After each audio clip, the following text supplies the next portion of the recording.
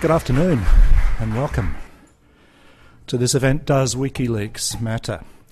This event is co sponsored by Robert Manne's Ideas and Society program and the Thesis 11 Centre Festival of Ideas, which is currently running at La Trobe University. La Trobe, as I'm sure you know, has a strong tradition of commitment to the discussion of these kinds of matters, to public life, to public conversation. I need to begin by thanking the Wheeler Centre folks for uh, making all this possible. There are two further events, just very quickly, in the Festival of Ideas that you should know about. The first is tonight. Uh, it's a public lecture at the University of Melbourne, 221 Bouverie Street, by Professor Ron Jacobs from the State University of New York Albany on the global, fri- global financial crisis and its media narratives. The second, which is held here tomorrow in the Experimedia Centre here at the State Library, is a four hour event on the work of Zygmunt Bauman. The first two hours of which will be dedicated to academic content and presentation. The second two hours of which will be dedicated to uh, the viewing of film, the first documentary, first cut of the first documentary movie about the work and life of Zygmunt Bauman will be aired then. WikiLeaks. Just a couple of random themes, observations from me. Uh, Zygmunt Bauman, to whom I just referred, somewhere writes that one of the moral crises of the 19th century was that in the 19th century we believed that we could solve the problems of the world if only we had the information to tell us how to do this. In the 21st century, he suggests the crisis has somehow been reversed. We now have such an abundance of information that it's actually paralyzing. what is it? 257,000, etc. WikiLeaks releases. There's perhaps a cult of transparency or the enthusiasm for transparency which goes together with this. Um, there may be too much intelligence, just as Marx once said that there was too much civilization. There are various other issues that arise the question of the image of the charismatic leader in the figure of Julian Assange. Not least, for example, when you happen to watch him, as, as I did, together with John Pilger on television, Antipodeans making trouble on the world stage, which might be a bit of a conceit. Now, Rob Manne and Guy Rundle, as I'm sure you both know, have been digging deep into these archives, into this information. And in Rob's case, uh, trying to find his way through the labyrinth, the proverbial riddle wrapped in an enigma. Uh, Guy's been digging in the same place and has a book to come which will result from these excavations. Uh, we've decided today that they'll uh, bookend this event. Uh, Rob will begin and Guy will close. Um, I'm presuming that you know them by, by their works. Uh, Robert Manne, of course, is Professor of Politics at La Trobe University, consistent contributor to the press, to the daily press perhaps especially to the monthly, uh, and most recently, author of that splendidly titled book, Making Trouble Indeed. Uh, Guy Rundle has taken the long march from arena to crikey. He's, uh, he's an acute, as you know, an acute uh, synoptic journalist who's written about extraordinary matters, whether in one register in the realm of comedy or through to Frankston, from Frankston to Detroit. Uh, he's still sufficiently old fashioned with us to yesterday have quoted William Morris in The Age, for which I think we should thank him, but not now. Uh, these uh, bookends, um, appropriately at, the, at, the, Wheeler Centre at the State Library, uh, will be intermediated by two of our visitors uh, for the Thesis 11 Festival Ideas. Uh, so Rob will begin. Rob will be followed by Eleanor Townsley, who's professor at the Mount Holyoke College in Western Massachusetts, who's um, kindly agreed to be with us today. Uh, she'll be followed by Professor Peter Vale, uh, who until recently was Nelson Mandela Professor at uh, Rhodes University and is now the Professor at Large at the University of Johannesburg. Uh, then uh, Guy will take his turn, and there'll be some sufficient good time for discussion, but we begin with Robert Manne. Thank you. Thanks, Rob.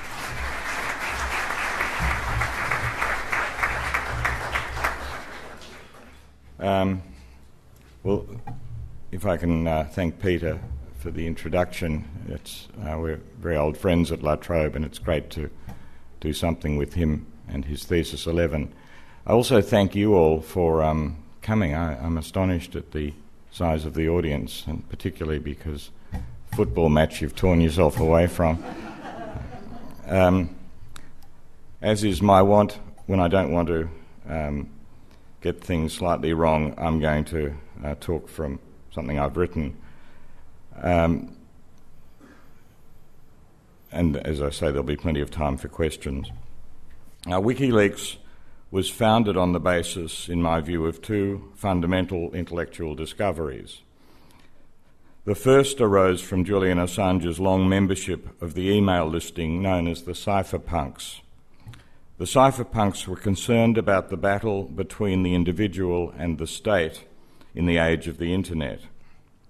They believed that because of two developments public key cryptography, basically a cryptography that individuals could get hold of, through, and that's second, a software program known as PGP, Pretty Good Privacy, individuals would now be able to communicate with each other in cyberspace free from any possibility of state surveillance. Julian Assange, who was a member of the email uh, list, was the inheritor of this idea perfect communication without danger of state surveillance, but he was not its source. It came from the cypherpunks. The second discovery, which makes WikiLeaks, was Julian Assange's alone. From the possibility of unbreakable communication between individuals, he devised a revolutionary strategy based on the relations that might be created between whistleblowers across the globe and WikiLeaks, an extraterritorial organisation that he created. It seems strange, but only a few years ago. He regarded both states and business corporations as conspiracies maintained by their monopoly of communications in the fields relevant to them. They could, he wrote, be throttled, his word, if the conspirators lost confidence in their ability to communicate with each other in secrecy. In previous ages, conspiracies had been challenged by kidnappings or assassinations. In the age of the internet, they could be challenged, he believed, by insider leaks. At the core of WikiLeaks, then, was this single thought. If those privy to the work of the conspirators inside states or corporations were able to leak their documents without fear of discovery, and if these documents could then be published to the world in the clear light of day, the conspirators would lose their capacity to maintain their clandestine communications with each other. Their conspiracy would be crushed. Assange clearly believed that some states and some corporations were more corrupt than others. Because of the existence of WikiLeaks, in the struggle between the more and the less corrupt states and corporations, the more worthy would triumph, the less worthy would be exposed, so he believed. This thought amounted to what I call political and corporate Darwinism the survival not so much of the fittest, but the best. The kind of revolution Assange envisaged did not rest on new political or economic arrangements, so far as I can see, but on the emergence of a new moral order.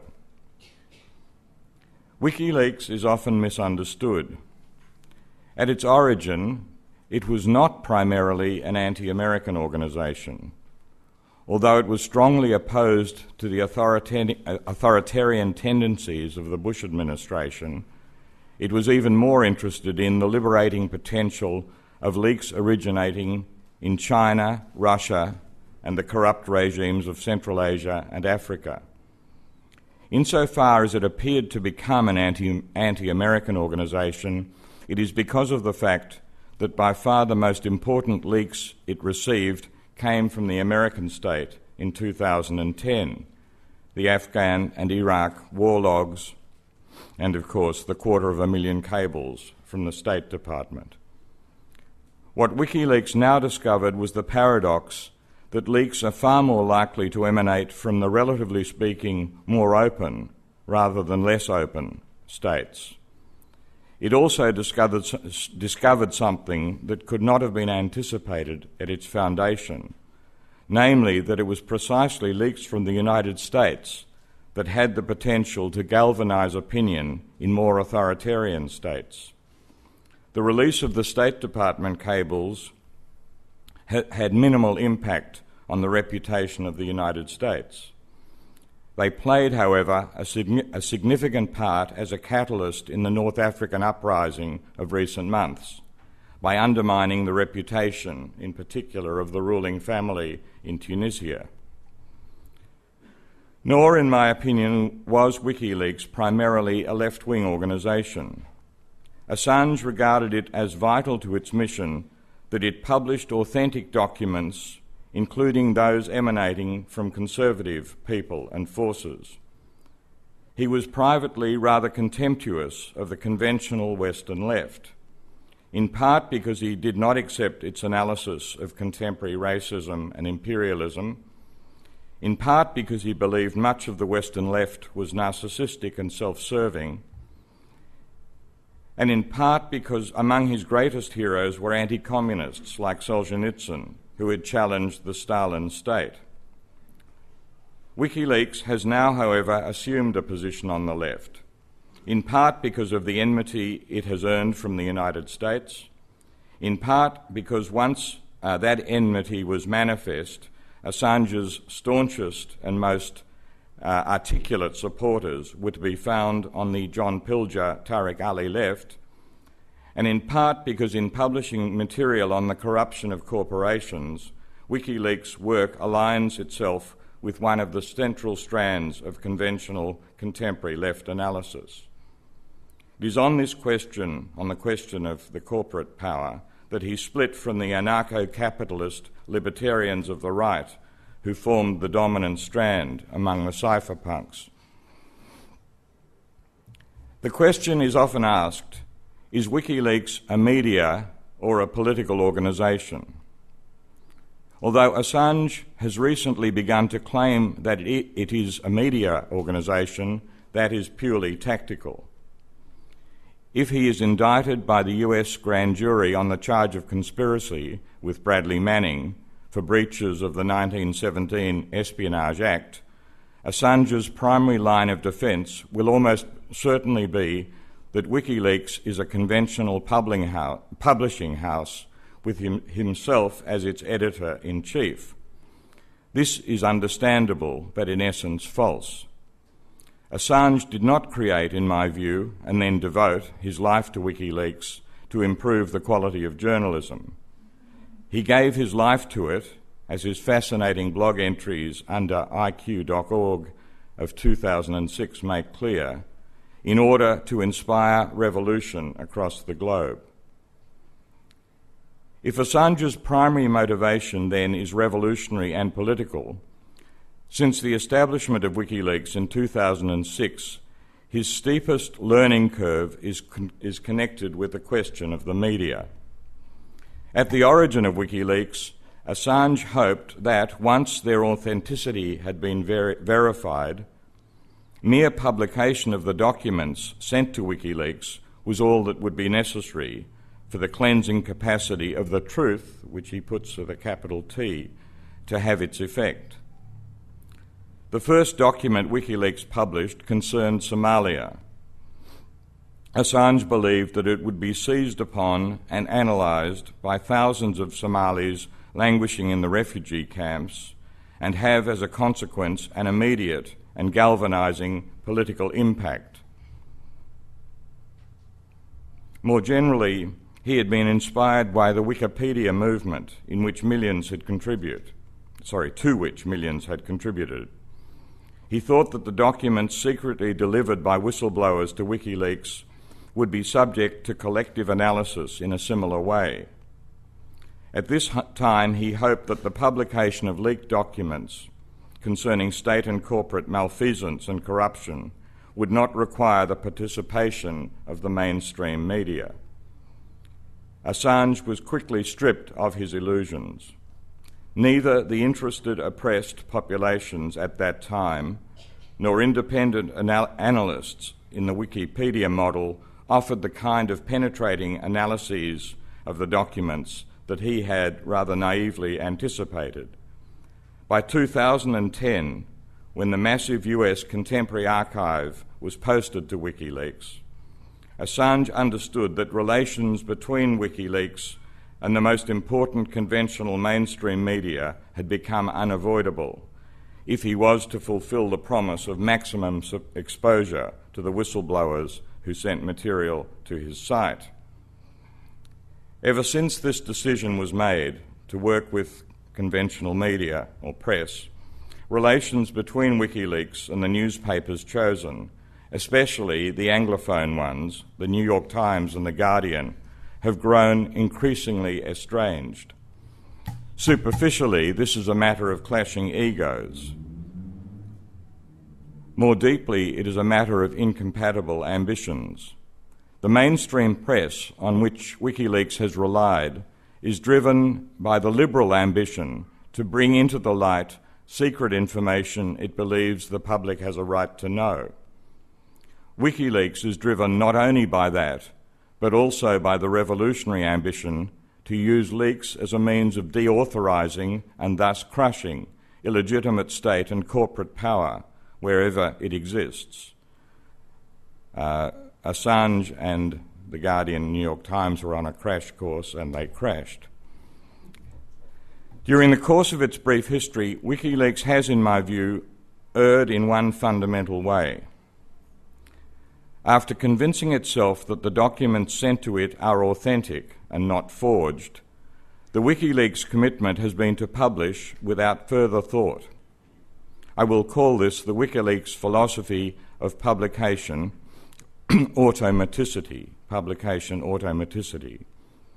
Almost all WikiLeaks ethical and political problems have arisen from this category mistake.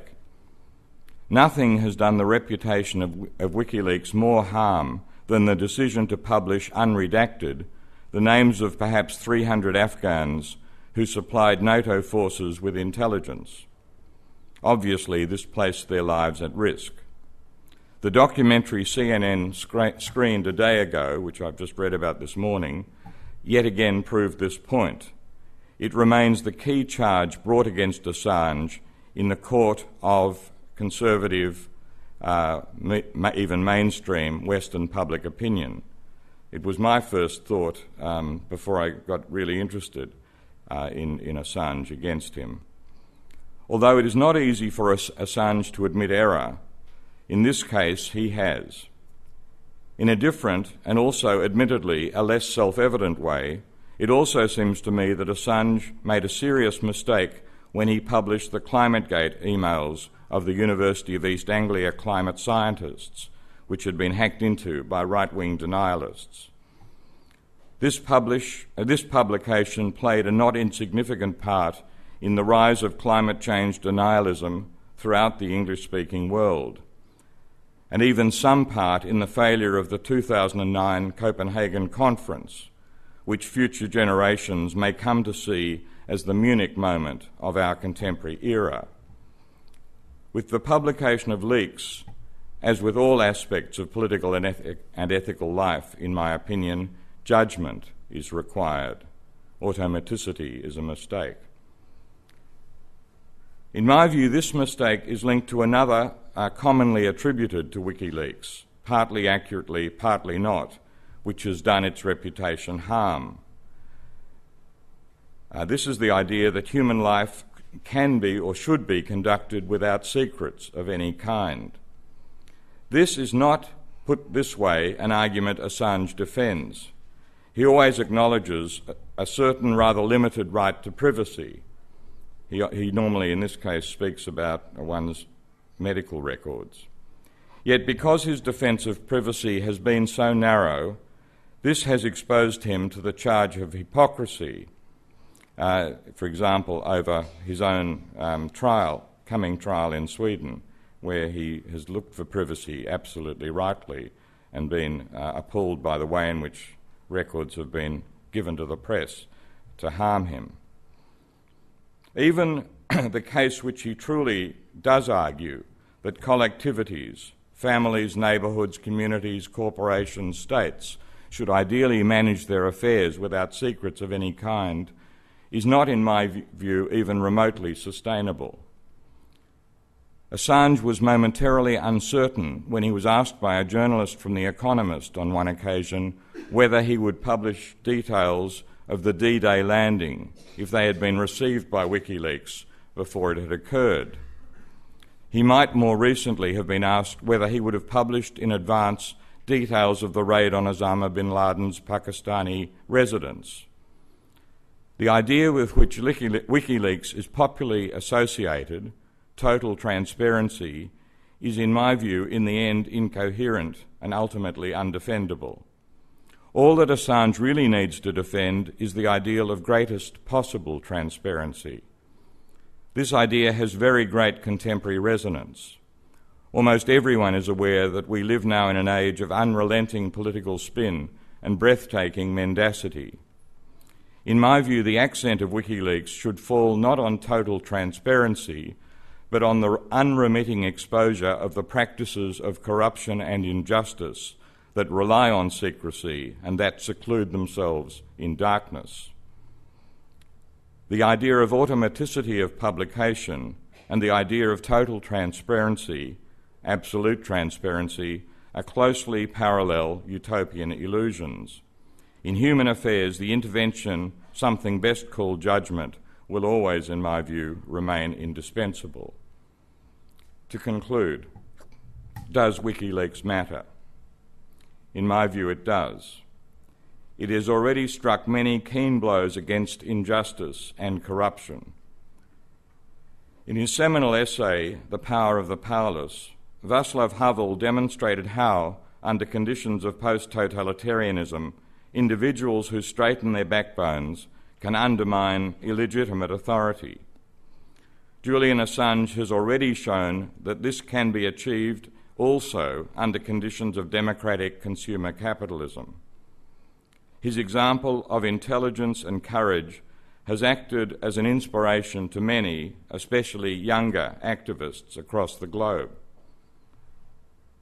I even think of my younger daughter who's involved in the climate change debate.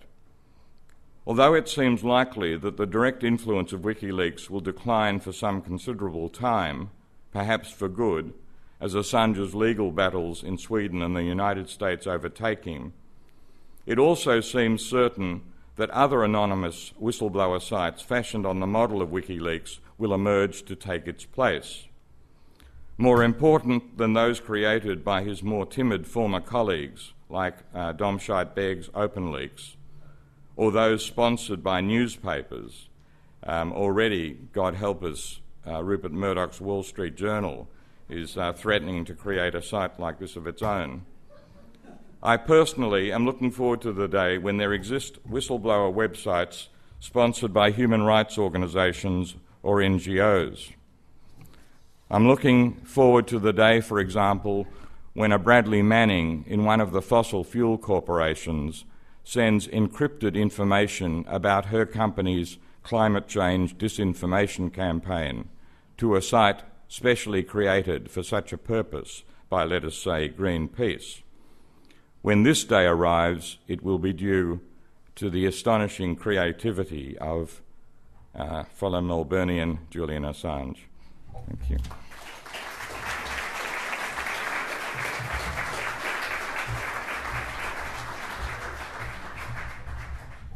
Thanks, Rob. Uh, Eleanor Townsley grew up in Queensland, took her first degree from the, the University of Queensland, took a PhD from the University of California. Uh, her sphere of influence and uh, m- most of her activity is felt in the United States, where she's a major representative of cultural sociology and a leading analyst of the media. Eleanor.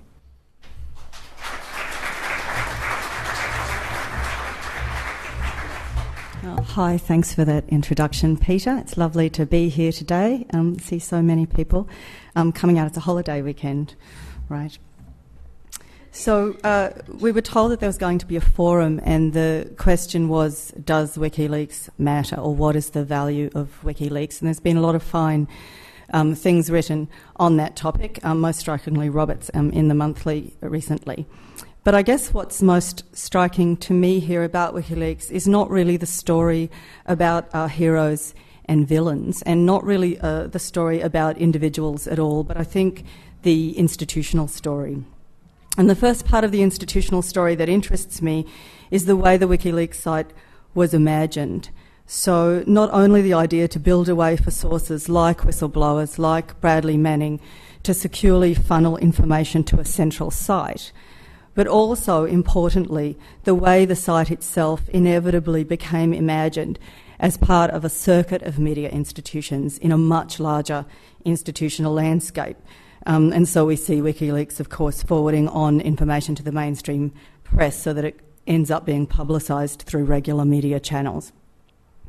And I think that's fascinating because it shows that despite the anti establishment culture and language of the WikiLeaks project, and despite its stated ambivalence about corporate media, WikiLeaks is nonetheless, um, or perhaps inevitably, closely connected to the established media landscape.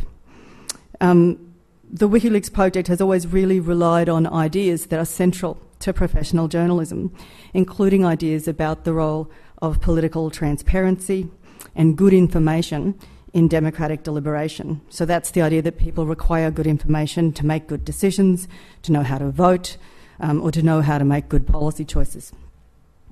So it, it's in this context, I guess, that I'd reflect on the surprise evinced by Julian Assange and others in the alternative press in the United States and elsewhere at the lack of response to some of the information that WikiLeaks has brought to light. Um, after all, while there may have been some important effects, Overall, of course, governments have not tumbled, um, and it doesn't feel like the world has been made anew, certainly not in the United States. And I guess from an institutional perspective, I would argue that the lack of response to WikiLeaks, certainly um, prior to the Bradley Manning moment, is only surprising if a traditional model of the media as a somewhat neutral conduit for information is in fact a good description of the way mediated deliberation works in the very highly complex societies we inhabit, which it probably um, is not. Um, information typically has effects um, in the process of analysis, of interpretation, of performance, and in the connection to ongoing narratives. So, the thing that I find interesting here is that despite the claims for innovation and newness for WikiLeaks, and it certainly is extremely innovative and new in important ways, it remains the case that the WikiLeaks project in its conception is closely tied to very traditional understandings of how journalism and media work, particularly in the Western democracies. So, a second part of the institutional story that I would emphasise um, in this connection is how that very big cache of secure documents from Bradley Manning was slowly processed and publicised in an unprecedented institutional um, international um, cooperation or collaboration between five major newspapers The Guardian, The New York Times, um, Der Spiegel, Le Monde, and El País. Um, as The Guardian editor Alan Rusbridger writes in his account of WikiLeaks published earlier this year, and I quote One of the lessons from the WikiLeaks project is that it has shown the possibilities of collaboration. It's difficult to think of any comparable example of news organisations working together in this way. Um, I think all five editors would like to imagine ways in which we could harness our resources again. So I think this part of the institutional story is also very important because it shows not only that the functioning of the WikiLeaks site is dependent on quite traditional um, kinds of journalistic philosophy that information will in some ways make us free, um, uh, truth with a capital T, but also importantly that the WikiLeaks project relied on and also helped to produce an unprecedented institutional collaboration of these national newspapers acting together on an international stage in a highly organised way. And I don't think it's a big surprise that WikiLeaks chose to work through print outlets rather than, say, the internet alone or radio or television. These newspapers are the most elite and prestigious institutions in their respective journalistic fields with enormous international influence. Several are also papers of record of powerful nations, so their collaborative involvement with WikiLeaks lent their authority to WikiLeaks as a source and to the facts that were published. A major consequence of this was that WikiLeaks and its information could not be easily dismissed or sidelined by other powerful national and international actors. And I think this speaks in an important way to emerging understandings of a global civil society and a global public sphere of political communication, political accountability, and political legitimacy. All this rests too on a growing sense of an international public, an idea that finds its counterpart in the imagined publics and markets and audiences and masses of an increasingly international social media. To be sure, an international public has long been imagined, but it is not always easy to summon or to mobilise. In this case, I think it was in, invoked in a particularly robust and interesting way by the combined authority of these big five newspapers and the large transnational publics to which they address themselves.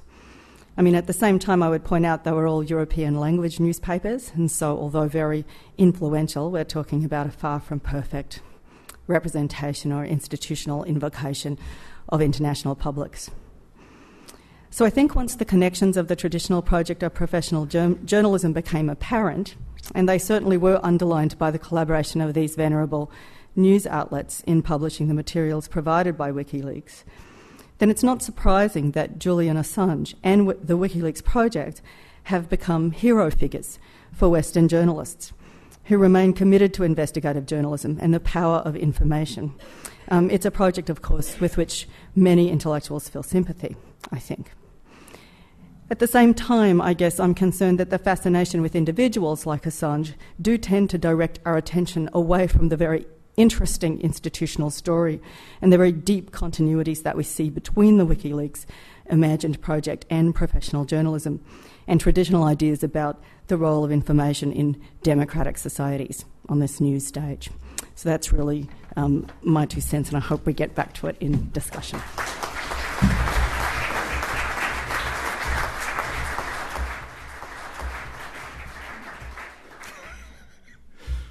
This is Peter Vale. He's lived a life around the world, but mainly in South Africa. Uh, I connect his life experience with at least three words. All of them start with S struggle, security, and the state. Peter.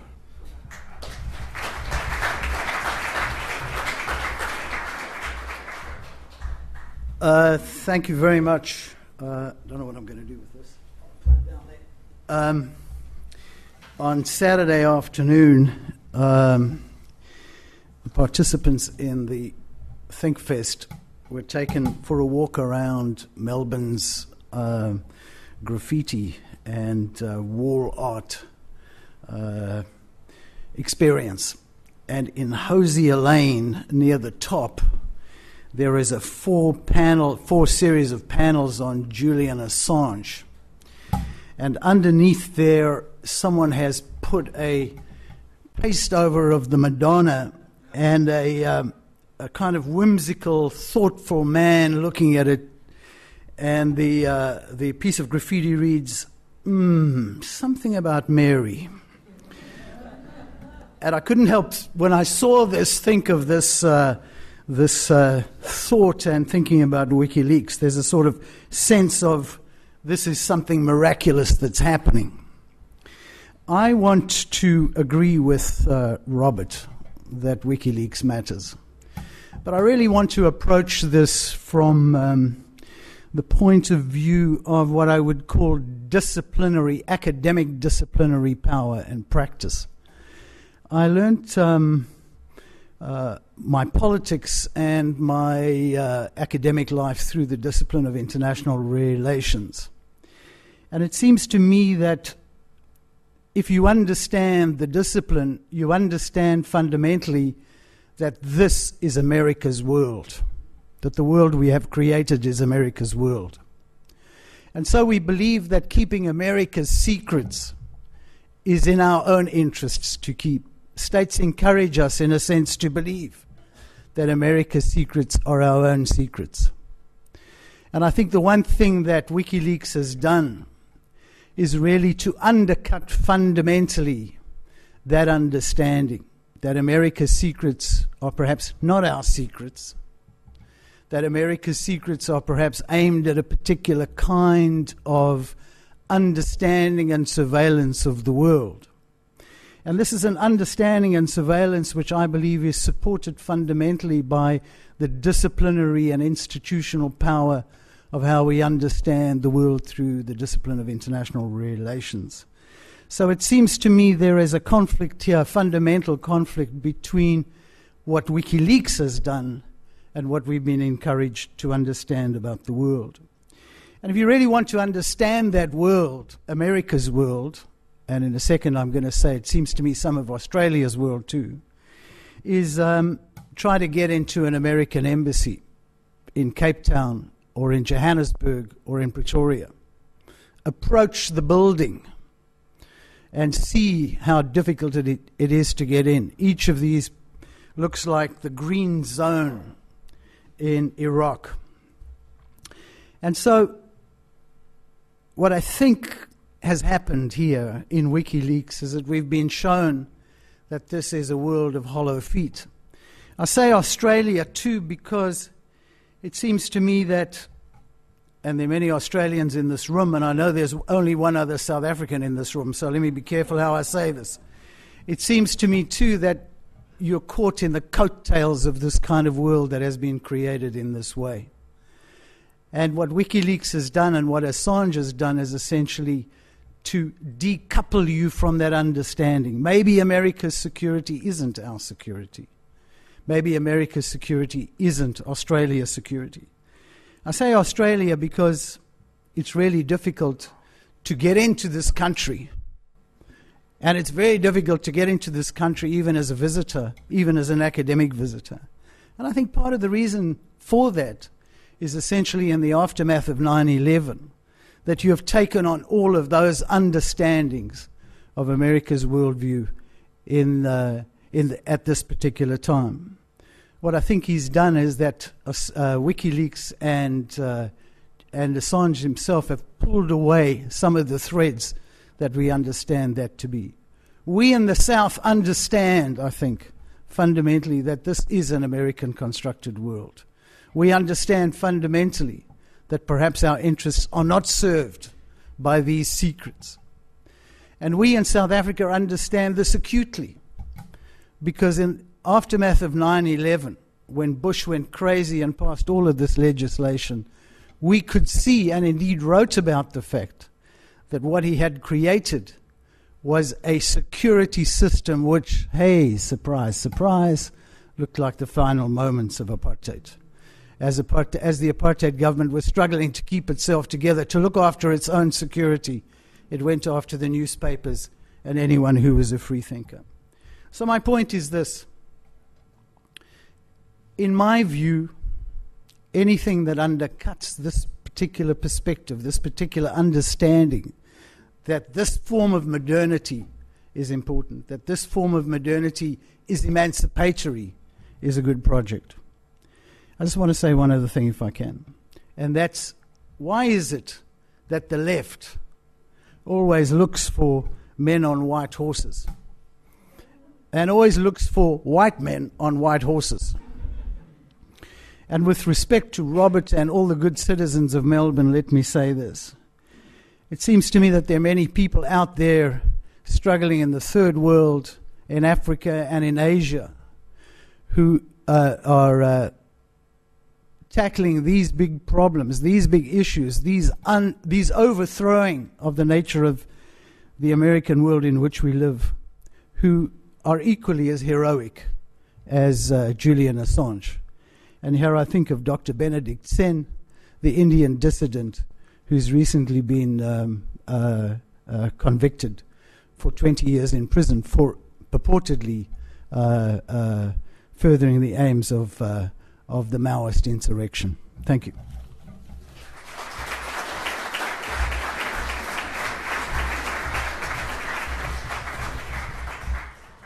Thank you, Peter. The last word. Guy, Rundle.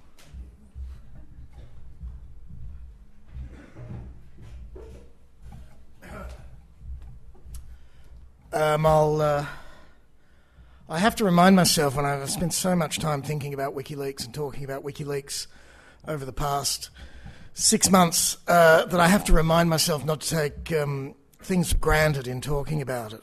On the one hand, uh, I think unquestionably WikiLeaks uh, matters, has changed the world, uh, has created something fundamentally new, and that it's worth focusing on the single exemplary uh, um, uh, behaviour and project that Julian Assange has created.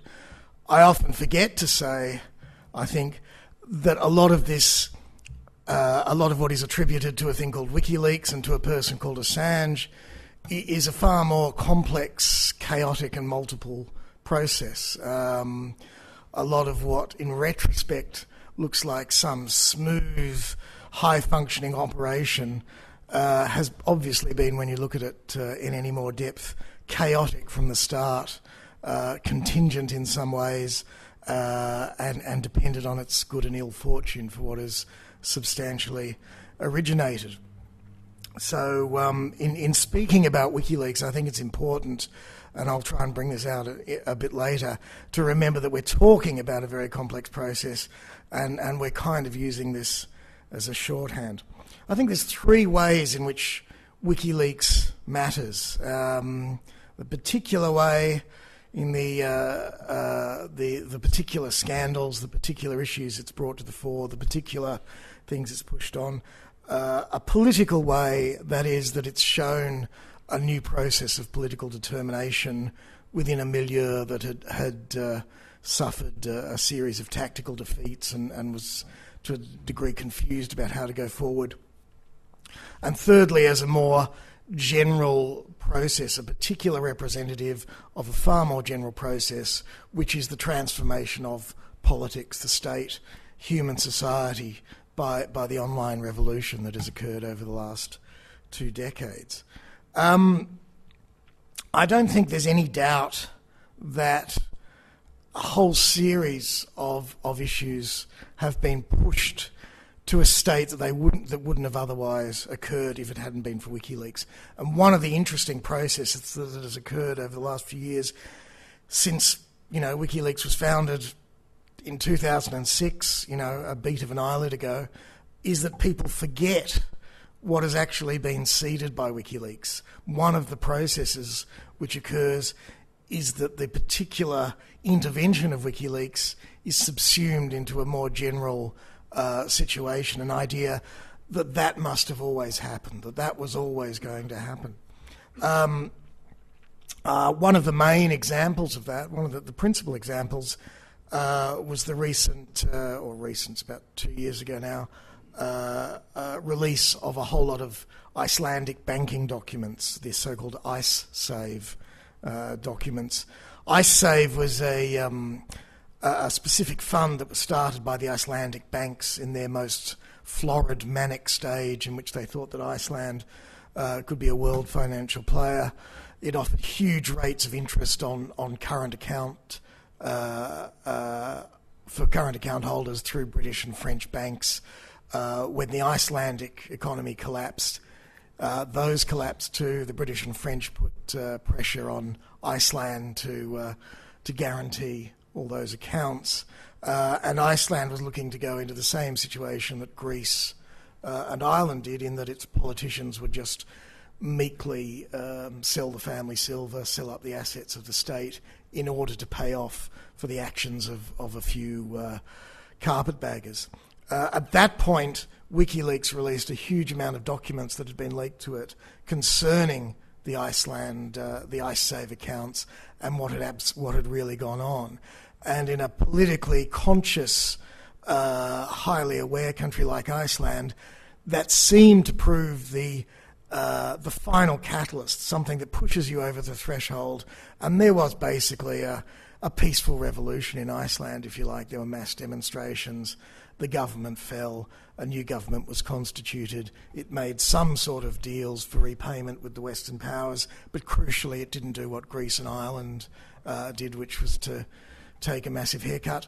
And it has proved all the better for Iceland. You know, Ireland has, has headed further into economic depression, uh, Iceland is doing all right. And recently, in a third um, a third referendum, the Icelandic people once again uh, rejected uh, a deal that would see them uh, see them pay these things off. Now, whether or not they have a moral right to pay these things off is another question. But I think it's unquestionable that what happened there was a particular function or was contributed to massively by the WikiLeaks effect, and that is that a huge number of documents made it unquestionable that something corrupt had occurred, but equally importantly, made it visible for everybody. So there was no possibility of pretense on either side anymore that we didn't know what was going on, we didn't know what you guys were doing, and uh, we didn't really, uh, we knew you didn't know, that sort of thing everybody knew. It's, it's, it's like, you know, it's like a scene in a farce where the, the screen comes down and everybody's naked.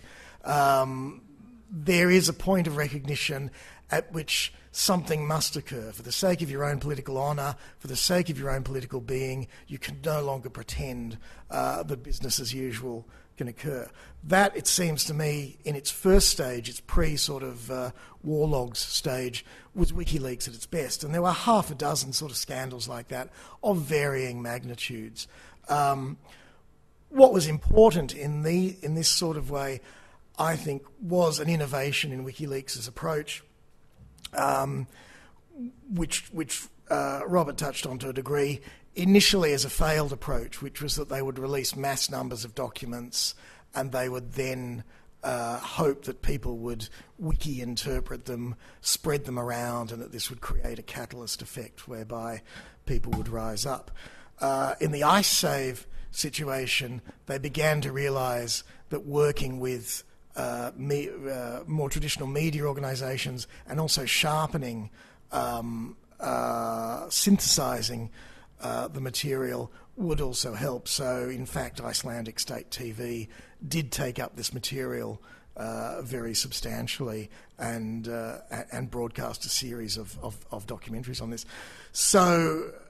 Um, it is that quantitative uh, innovation combined with the synthesizing process of interpretive media um, that of itself creates something more than an old whistleblower uh, it's something more than the old idea of the smoking gun effect. You know, the smoking gun, the one document that shows that uh, that something bad is going on.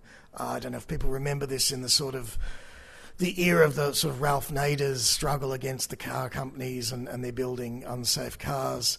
There was a document that Ford had circulating in its uh, in its internal um, uh, uh, business, which was about the Ford Pinto. And the Ford Pinto was a car that had a uh, one minor problem, which was that its petrol tank would sometimes explode if another car hit it at very low speeds. And there was a document in which someone had calculated how many of these this could happen, how much they would have to pay out, Ford would have to pay out in terms of wrongful death suits and that sort of thing, for it to be worthwhile for them to continue to produce the Ford Pinto with an exploding fuel tank. Um, now that's your, you know, that's your archetypal smoking gun because instantly, uh, um, uh, you know, someone has really just set it out as a series of accounts. The problem is, the problem is multiple here. However, as you get more and more of these smoking guns uh, they start to lose their effect. That's the first thing.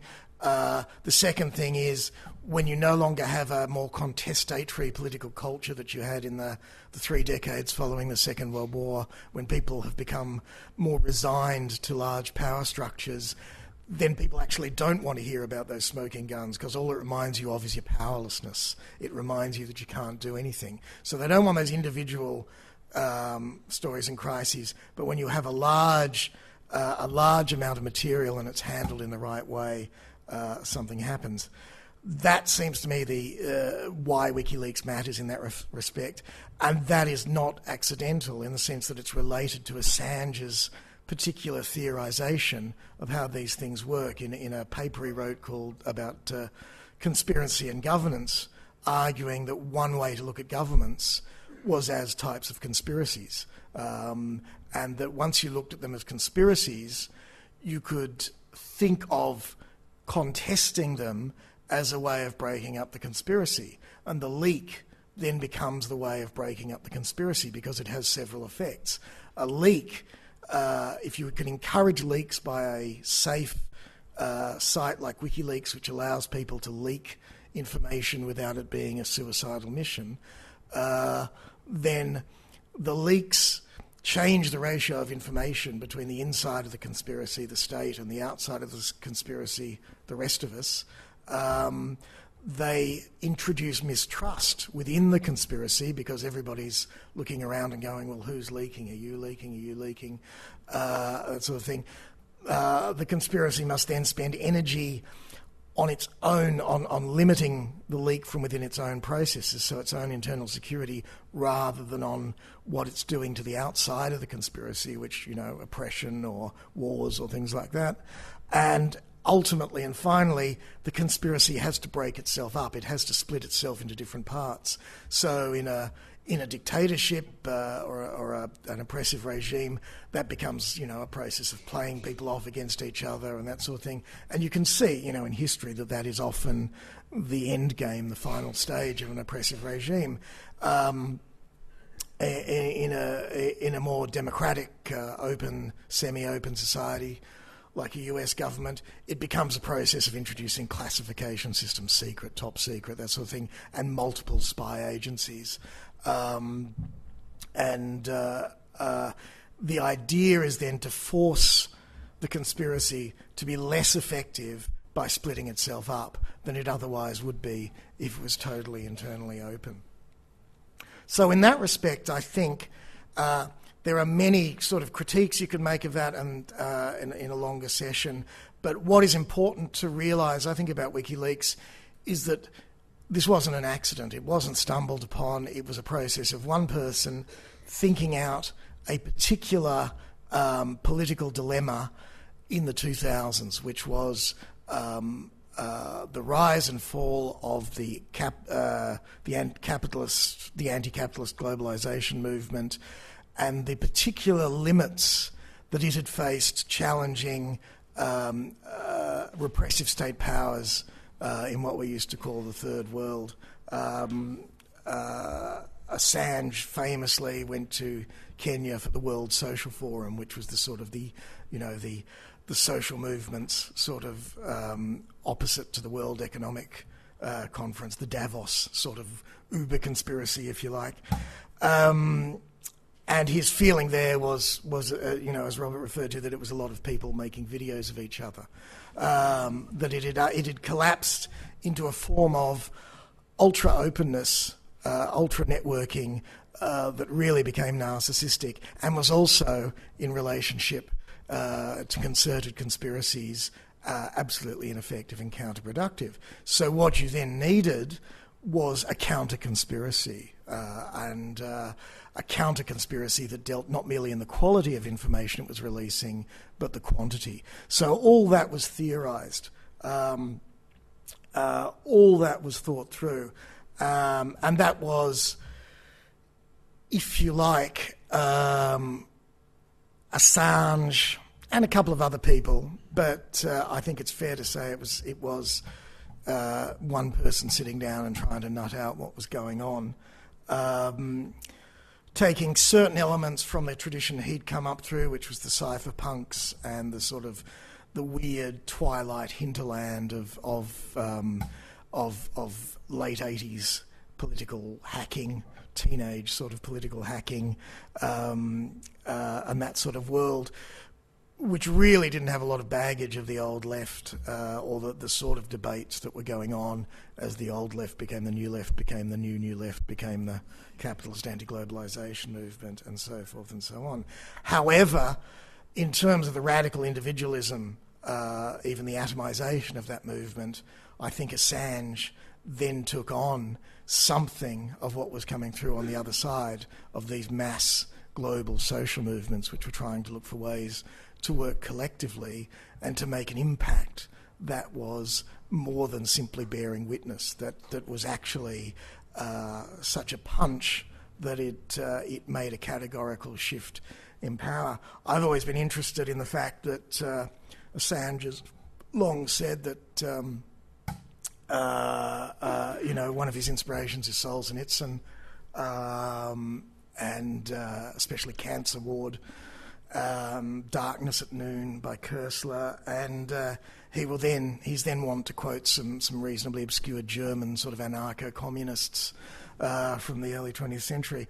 I've been interested in the fact that that Solzhenitsyn and Koestler are Miltonic works, if you like, in that the devil sometimes has all the best lines. They have a lot of power in them because they are not merely anti Stalinist or uh, that sort of thing. They're also interested in the way that those works uh, have an ambivalent attitude to the political will of Leninism, uh, its transformational quality, and that sort of thing. Its fascination with that. And I've always seen a loosely useful, very limited analysis um, comparison that, that, WikiLeaks in that respect has a, Len- a Leninist bit of oomph to it in its determination to make categorical change in the world, to make an expression of political will on behalf of an idea it believes to be right. That it's that sort of summoning of political audacity uh, in that respect that makes it different to a whole lot of the other sort of open leaks um, uh, cryptome sort of websites who celebrate the idea of openness and who celebrate the idea that openness of itself will occur. And in fact, as we now know from, from books like Daniel Domscheit-Berg's Inside WikiLeaks and that sort of thing, the crucial split, quite aside from any personality peccadilloes of Assange himself, the crucial split within WikiLeaks as it had come together over the years from 2007 and 2009 was Assange's determination that they should focus everything uh, on the three war logs they had the uh, Iraq, Afghan, and, and Cablegate logs, to the expense of being a general, general sort of leaks clearinghouse with a whole lot of other information they had, that they should really make this uh, a total focus, even though it would then inevitably have them labelled as simply sort of uh, traditional anti-Americans focusing on America, you know, why didn't you leak Chinese documents and so forth and so on. I think Assange was willing to take that risk, which also involved obviously, you know, a risk of, of going up against the most powerful country in the world uh, with an enormous legal, political, military reach. Um, and other people in the uh, the organisation clearly weren't. Some of them uh, have been honest enough to say so. Some of them have, have said that. Uh, you know, there's many reasons why a lot of us left WikiLeaks, but uh, as Rop Gonggrijp, one of the uh, the Dutch people, said, I left because I was scared shitless of what Assange was doing and I didn't want any part of it.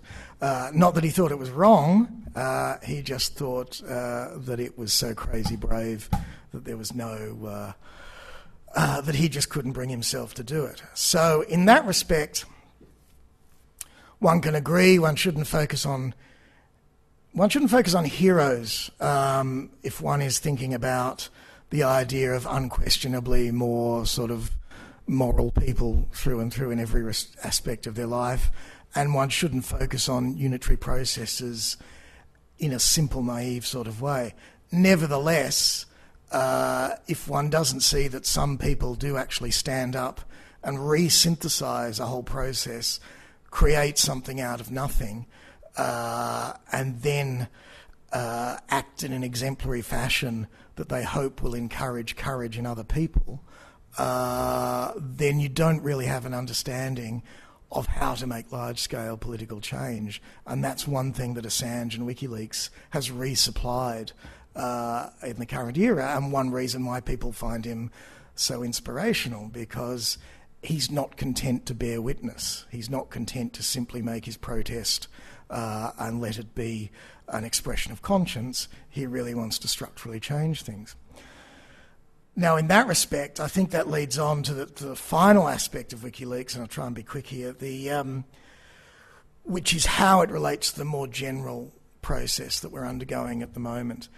WikiLeaks, in this respect, I think, is one political expression, one way of doing something in an era in which the whole constellation of power, information, and the state is changing uh, as epochally as it did in the 17th century when the modern state and political systems were born. The modern state, the, the territorially limited nation state was born of the Westphalia Treaty in 1648. The Westphalia Treaty came at the end of the Thirty Years' War, which had devastated Europe as a, as a, a sort of knockdown, drag out uh, fight between Protestantism and Catholicism.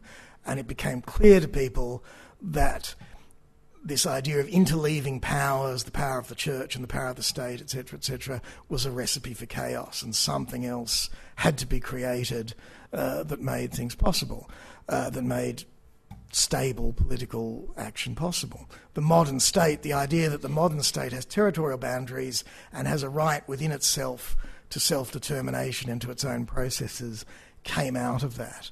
Um, and that with various sort of uh, um, exceptions and that sort of thing, governs at least the idea of the modern state, if not if not the practicality. Um, that in itself is also based on the rise of print, uh, as opposed to the uh, the, dom- uh, the nomination of, of, of manuscript writing and the power of the church as the holder of, of information.